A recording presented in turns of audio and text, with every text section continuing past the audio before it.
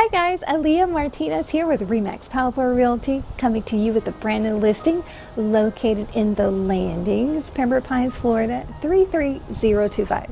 So real quick, uh, a few details. It's three bedrooms, two baths with a pool. It does have a fence in the backyard, so great for pets or small children and the community actually has a real uh, man gate. So the association is running, because I know I'm going to get questions about that, 135 a month, which does cover common ground. So super popular area, Pembroke Pines, close to shopping, dining, uh, A plus schools, and take a look at the pictures. If you're interested and you're not working with an agent, feel free to contact me directly. If you are, it will be listed on the MLS for your agent to have access for showing instructions.